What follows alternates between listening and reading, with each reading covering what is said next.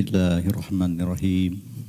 Alhamdulillahirrahmanirrahim. Kita lanjutkan dengan sesi kedua mengenai analisis awal bulan Ramadan, Sawal dan Zulhijjah 1443 Hijriah tahun 2022 Miladiah menurut berbagai kriteria. Namun sebelum itu barangkali sebagai selingan ya supaya tidak monoton saya coba uh, sedikit di sini ada fenomena rasdul kiblat dulu ya. Jadi kalau tadi terus-terusan itu mungkin barangkali sekarang agak sedikit uh, pemahamannya tidak terlalu sulit ya dan ini praktis. Baik, saya memulai dengan rasdul kiblat. Rasdul kiblat itu, nah tadi sudah dijelaskan bahwa sebetulnya kan umat muslim di dunia itu kaya. Yang paling bagus adalah pada saat kita mengarahkan sajadah kita sholat menuju Ka'bah. Itu kan bagus kalau misalnya dari Ka'bah atau dari Makkah itu dibuat sebuah ada yang membayangkan bagaimana kalau membuat sebuah menara yang sangat tinggi sehingga seluruh di dunia atau separuh dunia itu nggak usah ngukur, nggak usah ngitung, arahin saja ke sana gitu kan. Nah itu, itu itu saya kira oh, bagus ini tuh. Kemudian uh, ilmu astronomi, ilmu palak itu memberikan memfasilitasi, memfasilitasi. Nah kalau misalnya mustahil kita membuat satu menara yang tingginya berkilo-kilometer. Nah sementara kalau kita lihat dari pergerakan matahari, harian, bulanan, dan berulang setiap tahun, ada saat-saat tertentu di mana matahari posisinya sebagai rasdul kiblat. Artinya matahari tepat berada di zenit Ka'bah. Tepat di atas orang yang berdiri di sekitar Ka'bah di Masjidil Haram. Ya. Nah, di situ sehingga apa yang dapat kita amati? Yang kita amati adalah pada saat itu setiap benda tegak tidak memiliki bayangan. Hari tanpa bayangan istilahnya ya Pak. Hari tanpa bayangan Bapak. Baik. Dan itu sebetulnya difasilitasi oleh uh, uh, apa namanya ilmu astronomi di mana yang pertama kita mengetahui berapa lintang dan bujur Ka'bah. Kita sudah tahu, sekarang dari Google saja sudah bisa dilihat. Kemudian yang kedua, nah ini dalam kabar. Ya. Lintang Ka'bah ini besarnya harus sama dengan harga deklinasi. Nah mungkin kita pernah mendengar deklinasi itu apa? Sebetulnya deklinasi itu adalah lintang langit. Nah, lintang matahari, lintang benda langit tapi tidak di bumi tapi di langit. Sama saja kalau bumi ini kita perluas menjadi langit, maka ada garis lintang. Garis lintang ini kalau kita lihat ke atas itu deklinasi. Jadi sebetulnya sangat sederhana. Kita mencari kapan saatnya yang berulang setiap tahun, harga deklinasi matahari sama dengan lintang Ka'bah. Nah, Ka'bah lintangnya 21 derajat 25,360 derajat lintang utara. Dari data efemiris kita cari matahari yang tepat deklinasinya segitu. Dan saat dia berada di apa namanya di atas kulminasi atau nama lain istiwa ya sedang beristiwa. Nah, yang menarik adalah nah ini ada gambar. Nah tadi kan ini Mekah, barangkali bisa dilihat ya Mekah di atasnya itu ada matahari ke arah matahari yang sedang berada di arah zenit. Kemudian Indonesia itu kira-kira hampir 8.000 kilometer. Tadi dijelaskan karena bumi melengkung, Jadi tidak mungkin dari kita itu bisa melihat gitu ke Ka'bah dengan teleskop apa pun karena akan terhalang oleh lengkungan bumi. Nah, nah dari situ kejadian ini akan terjadi berulang ya. Setiap tanggal 27 Mei kemudian 28 Mei, tanggal 15 Juli, tanggal 16 Juli. Jamnya di sebelah kanan. Ada 16, kita lihat 16, 17, 51, 16, 17. Tapi cukuplah dengan menitnya saja. Karena perubahan detik itu tidak akan mempengaruhi. ya. Nah ini pengukuran arah kiblat akurat. Jadi sederhananya pada saat matahari berada di atas Ka'bah, setiap benda tegak di muka bumi termasuk di Indonesia saat itu akan memberikan bayangan. Dan bayangan itu akan membelakangi arah Ka'bah. Oh, ini sangat akurat sekali, sangat akurat. Dan ini sangat mudah dilakukan. Nah ini sederhananya. Saya berikan ilustrasi. Saya masih muda nih dulu, tahun berapa nih? nah, pada saat matahari tepat ada di atas Ka'bah yang ditujukan oleh jam, maka jika bandul, bandul persis tegak ya. Nah, itu akan memberikan bayang-bayang. Bayang-bayang bandul ini kita lihat akan persis mengarah atau membelakangi arah kiblat. Nah, di sini jadi tanggal 27 Mei cukup akurat hanya 16 18 WIB. Kemudian tanggal 28 Mei sudah ini tiap tahun, Pak. Berulang tiap tahun. Kemudian tanggal 15 Juli. Nah, hari ini ya kan bisa dilakukan. Besok tanggal 16 Juli juga bisa dilakukan. Ya, bisa dilakukan. Nah, di, jadi di daerah Wita itu ditambah satu jam. Karena ini masih WIB Pak. Kemudian daerah Wit tidak bisa. Karena matahari sudah terbenam. Tapi nanti akan saya coba jelaskan. Baik. Saya menunjukkan ada dua gambar. Yang pertama saat matahari tepat di zenit. Di ubun-ubun orang yang berada di Ka'bah. Di Masjidil Haram. Di situ Nggak akan ada bayangan karena di atas. Pada saat yang bersamaan di Jakarta itu gambar bawah, itu sudah hampir terbenam. Mengapa? Karena sudah pukul 16 18 UIB. Jadi 4 sore ya, Pak. 16. Nanti tolong dicek juga ya, silahkan. Nah, ini sangat akurat. Yang menarik apa? Jadi kalau benda tingginya satu meter saja, satu meter saja, itu bayangan itu panjang. Bisa tiga kali lipat, tiga meter. Di sini 3,07 meter. Semakin ke timur semakin panjang. Waktunya sama Pak, bersamaan tapi bayangannya semakin panjang.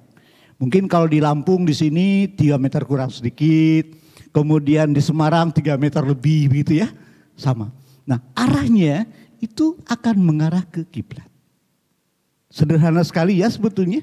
Setiap benda tegak, yang listrik, apa pun yang tegak atau dibuat sendiri, ya, atau bandu seperti yang contoh saya berikan tadi. Kemudian yang kedua,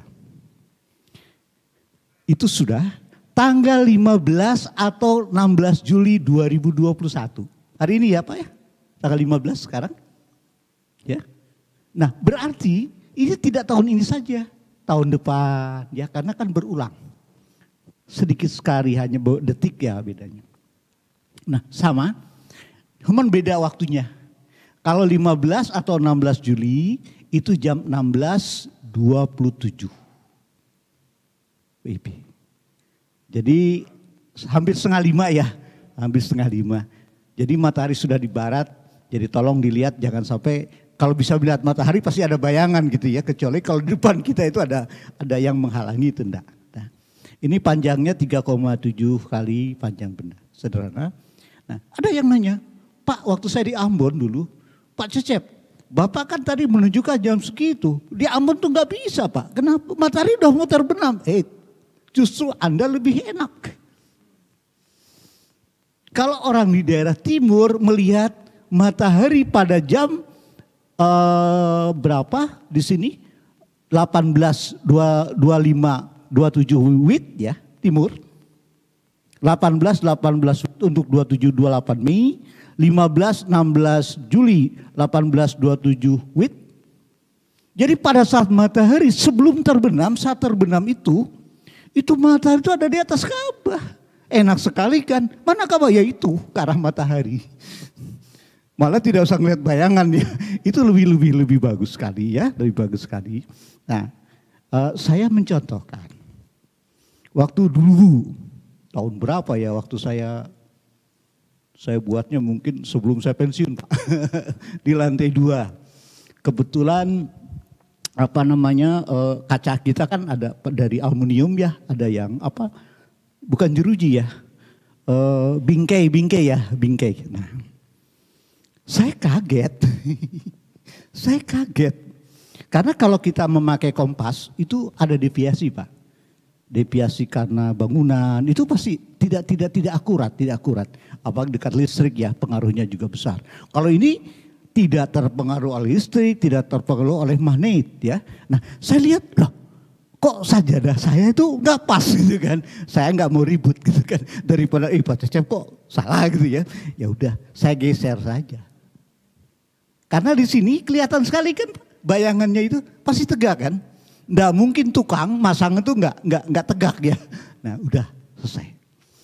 Ya, nah udah. Ini bisa dilakukan di tempat kita, ya, di tempat sholat kita, atau atau di sini, bapak. Saya tunjukkan. Arah kiblat masjid yang arah kiblatnya kurang tepat dicek dengan bayangan sinar matahari. Ini kalau saya pertama kali orang misalnya ingin ngecek arah kiblat masjid itu betul atau tidak atau ada melenceng. Kita jangan jangan saya tidak pernah mengatakan kayaknya itu agak melenceng. Tolong saja Pak. Ini pada tanggal sekian jam sekian itu matahari tepat di atas. Jadi jangan saya bapak sajalah yang ngecek sendiri. Toh semua orang akan bisa melihat ya. Dari erang-erang kelihatan ya bapak ya. Tuh ada cahaya erang-erang. Dan beliau, Pak Cecep, ini kok masjid saya kayaknya itu sapnya kok agak miring gitu kan. Nah gitu kan. Kan bukan saya yang yang mengatakan gitu kan. Bapak melihat begitu. Saya kok saya pun kau melihat juga sama gitu ya. Nah saya bilang. Tapi memang ini secara teoritis sangat mudah dan sangat akurat Pak. Sangat akurat. Insya Allah kalau masjid-masjid sekarang kalau sudah pakai teodolit ya kan dengan peralatan yang modern itu hampir sama. Tapi saya tidak pernah menyalahkan masjid lama. Karena tergantung dari dari teknologi pada saat itu. Boleh jadi zaman dahulu nggak kiblat di mana? Ya udah di barat. Itu zaman dulu. Betul ya? Ada juga yang mengatakan loh kalau sekarang pak kalau kiblat di barat repot. Kenapa? Itu kan arahnya kan ke ke Uganda, ke Nigeria. Ya monggo silakan gitu kan. Ya kan. nah kalau sudah tahu kan lebih enak gitu ya.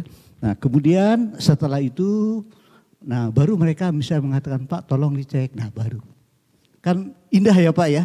Kalau daripada kita menyalahkan Pak ini salah gini-gini saya, saya pikir kasar itu. Itu bukan watak muslim ya Pak ya kalau gitu. Biarkan mereka menyadari dulu Pak ini kayaknya ada ada ada keganjilan gitu ya di tempat saya tolong misalnya nanti para ahli dari dari apa LDI ini tidak sulit Pak. Pakai teodoli itu tidak sulit mudah sekali nanti. Insya Allah Pak Ismail itu gampang nanti menginikannya juga apa mengajarkannya. Nah, kemudian kalau sudah tahu begitu, solusinya sederhana. Jangan merubah masjid, sayang masa masjid dibongkar. Merubah sab sajadah tanpa merubah arah masjid. Sekarang ada yang tanya, Pak nggak indah. Loh masalahnya bukan indah tidak indah gitu. Tapi kehusuan kita itu mengarahnya ke kiblat. Mengarahnya ke mutazam ya kan. Itu kan akan lebih memberikan satu apa namanya dampak psikologis ya Pak ya. Betul. Apalagi sekarang adalah zaman modern. Jadi itu yang saya sampaikan. Jadi Rasul Kiblat ini menarik, istimewa karena ceritanya memang itulah manusia seperti yang pernah saya katakan bahwa dengan teleskop itu kenapa ada teleskop? Mungkin saya sedikit ini juga kenapa misalnya dia membayangkan ada menara yang tinggi. Ternyata menara yang tinggi di puncaknya sekarang bisa disimpan matahari. Ya, dan itu akan memberikan bayang-bayang. Dan itu akan memberikan satu satu apa namanya perhitungan satu hasil penelitian yang tidak susah. Bahkan siapa pun ya Pak ya, kalau lihat bayang-bayang kan budaya. Seperti kita lihat bayang-bayang, oh ini ya sudah tinggal digeserin lah. Begitu ya.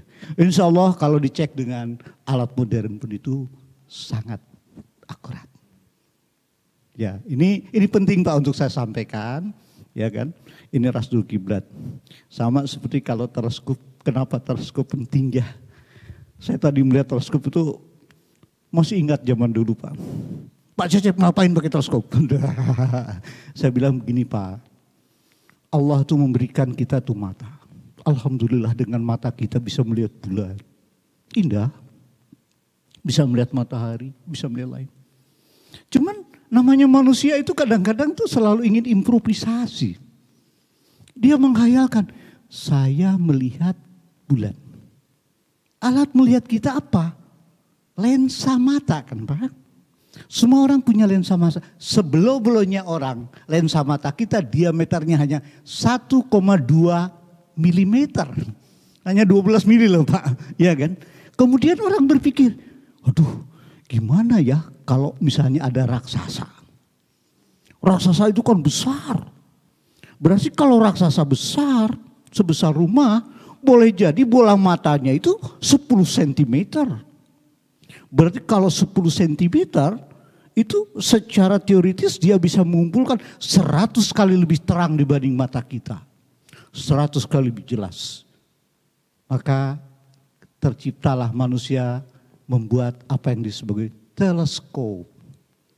Jadi teropong itu bayangkan Bapak minjem mata raksasa. ya kan? Yang ukuran lensa matanya 10 cm kan besar-besar itu ya. Nah di situ. Maka apa yang dilihat? Lihat bulan tidak seperti nenek ante. Itu kawahnya banyak sekali, lebih close up. Dan itu pun diharapkan untuk melihat hilal. Itu alat bantu yang sangat-sangat membantu, menolong. Belum lagi untuk recorded, untuk karena mata kan nggak bisa nggak bisa merecord pak, hanya mengatakan saya melihat, ya kan? Mana buktinya? Ya saya melihat gitu kan. Tapi kalau dengan teleskop, dengan kamera kita bisa bisa menunjukkan oh ini adalah alatnya. Baik, saya kira itu tentang apa namanya. Nah, sekarang kita masuk tadi hanya ini hanya informasi dan saya berharap mudah-mudahan waktunya itu tolong dicatat dan itu bisa dibuktikan hari ini. Besok juga bisa. Monggo silakan gitu. Silakan gitu. Kalau hari ini tidak bisa karena mendung, masih ada tahun depan. Jadi berulang terus. Ini yang disebut sebagai rasdu kiblat. Jadi jangan heran kalau di majalah-majalah di ah, pemberitaan-pemberitaan itu sekarang itu rami tentang rasdu kiblat. Ada yang mengatakan bahwa Pak katanya kalau tanggal 16 itu kan untuk tahun tahun kabisat, eh, tahun tahun tahun basito kan sekarang. Kalau 15 kabisat karena itu kaitannya dengan sebenarnya enggak. Saya cek semuanya dua hari bahkan tiga hari berturut-turut itu masih akurat. Perbedaannya tidak, tidak, tidak, tidak bisa kita membedakan ya, sangat kecil sekali. Klik like jika menyukai video ini dan subscribe untuk mendapatkan berita terbaru dari LDII TV. Alhamdulillahi jazakumullahu khairah telah menonton.